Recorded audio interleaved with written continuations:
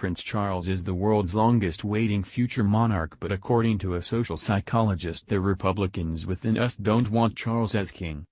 There will come a time when Queen Elizabeth II is longer with us and her son, Prince Charles, will become the King of England.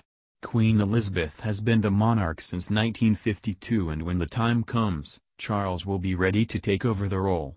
However, a documentary has questioned if Charles should ever get the job and suggests that the Queen will be the last positive outcome for the British monarchy.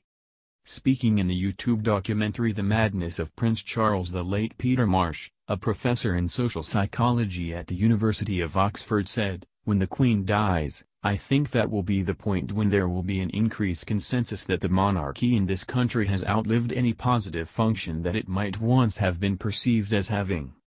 I think at that stage, you know this sort of Republicans within us to think well the Queen was okay but we're not having Charles.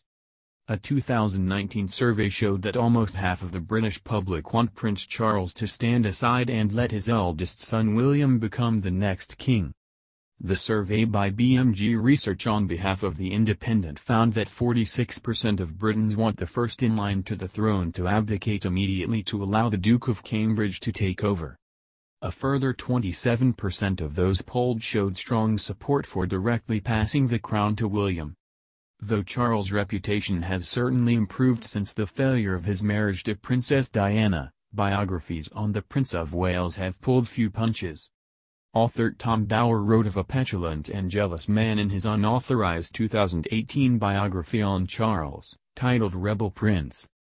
While royal biographer Sally Bedell-Smith was careful to highlight in 2017 Charles' warmth and Prince Charles, the passions and paradoxes of an improbable life, although even she conceded he was, at times, hopelessly thin-skinned, naive and resentful.